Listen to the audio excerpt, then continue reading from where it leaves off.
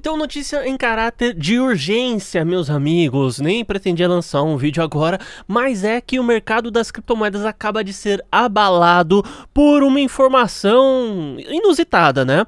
A moeda USDC, infelizmente, perdeu a sua paridade. Essa que agora é a terceira maior stablecoin do mundo em relação a volume de mercado e a quinta maior moeda quando a gente considera o nicho das criptomoedas como um todo. Então, isso daí tá abalando o preço do Bitcoin. Já respondeu a isso negativamente. As stablecoins é, também estão sofrendo e a situação não tá nada boa. Bom, antes de tudo, eu te convido a se inscrever, ativa o sininho das notificações e deixa um like nesse vídeo, assim você me ajuda bastante. O segundo link na descrição é referente ao robô de operações que eu utilizo. Então, caso você queira conhecer, acessa aí. Tendo dito isso, então vamos comentar aqui a respeito do ocorrido, tá? Então vamos ver aqui, em primeiro lugar, o preço do, do ativo no momento que eu estou gravando esse vídeo, tá? Então, a stablecoin, eu estou colocando aqui na paridade USDC, USDT da Binance, ou seja, o USDC, né, no caso a moeda que teve o, o problema aí, ao tanto que ela caiu, cara, isso daqui é assustador, isso daqui é avassalador, é, principalmente para uma stablecoin. Então a paridade tá Tether e o USDC. O certo seria dólar direto, só que a Binance não tem a paridade dólar direto. Então olha só isso daqui. O gráfico ele estava indo bem reto, né? Tava bem reto. Daí ele teve essa queda aqui. Vamos ver de quanto foi essa queda aproximadamente.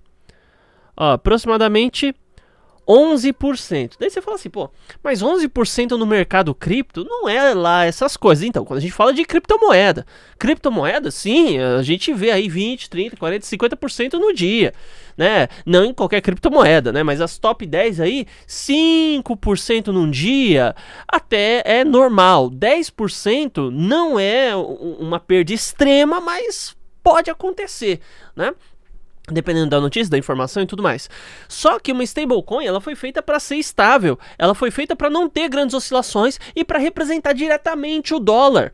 Mas por que que a USDC, a stablecoin da, da Coinbase, que é, também é dona da, da Circle, que é, enfim, gerou aí a USDC. O que aconteceu? Foi o seguinte, eles colocaram é, o, seu, o seu saldo garantidor, né? Porque até então, para cada um SDC que tem circulando aí pelo mundo, eles têm que ter um dólar guardado em uma conta bancária. Tanto é, né, que a gente tem aqui a, a matéria, né? Onde que estava esse dinheiro? Estava no Silicon Valley Bank. Então eles é, esse é um banco muito famoso nos Estados Unidos. Ele existe desde 1980 e esse banco ele é utilizado muito por startups para fazer o seu financiamento, seus negócios e tudo mais, e simplesmente esse banco quebrou, né? Ele está com sérias dificuldades, a situação está muito ruim, começou a rolar uma corrida aos saques, só que o grande problema é que os bancos, eles não têm todo o dinheiro de todos os clientes. Por quê? Está guardado em outro lugar? Não, é porque eles emprestam. Só para você ter ideia, existem convenções internacionais e leis em vários países que permitem os bancos fazerem isso. então, em média, um banco ele vai ter só 15 a 30, 15 a 40% do saldo que ele realmente precisaria, tá? Então, em média, aí 70% do, do valor que era para estar tá lá parado dos clientes, ele empresta. Sim, você coloca o dinheiro no banco e o banco empresta seu dinheiro. Não é porque é o Silicon Valley Bank, né? Isso quem faz é o Santander, é o Itaú, é o Bradesco, Banco do Brasil. Todos os bancos funcionam dessa maneira. Tanto é que toda vez que a gente tem uma crise, você pega aí, por exemplo, a Venezuela. É, várias vezes o banco vai lá, fecha as portas quando tem qualquer tipo de corrida aos, a saques, né? O banco fecha as portas. É, é o que? É para proteger a população? Não, é para proteger ele mesmo, senão ele quebra.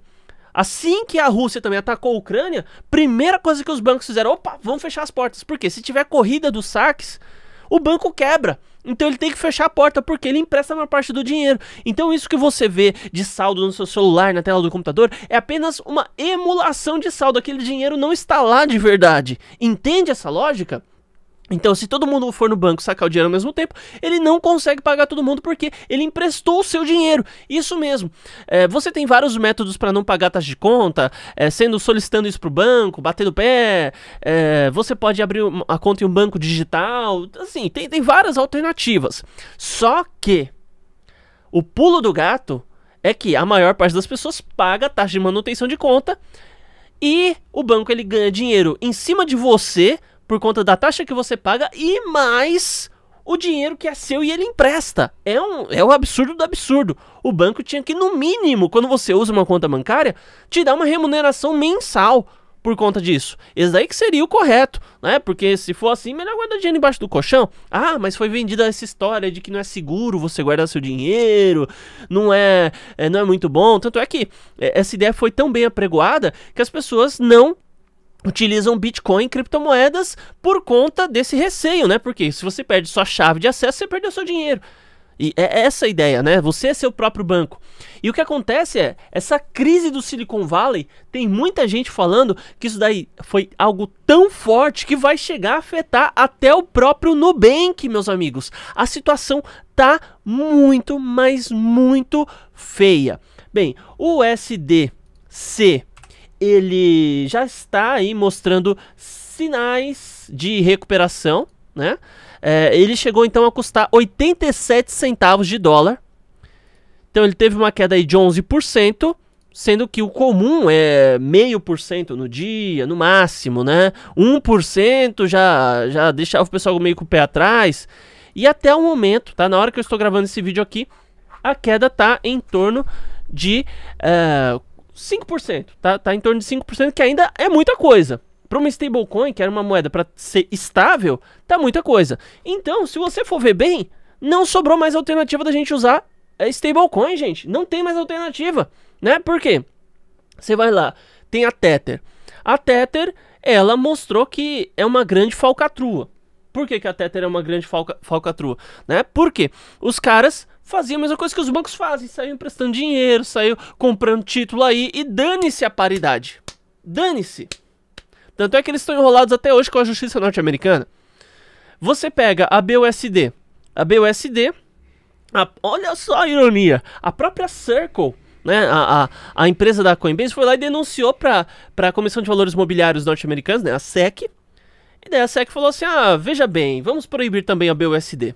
E a única que era 100% regulamentada, tudo certinho com o governo, era essa, o SDC.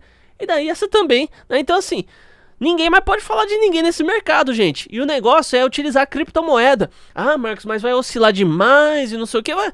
Cara, você vê aí. Se não dá mais para confiar nessas moedas que, de, cer de certa forma, estão aí para representar o dinheiro do norte-americano, né? O, o dinheiro norte-americano, enfim.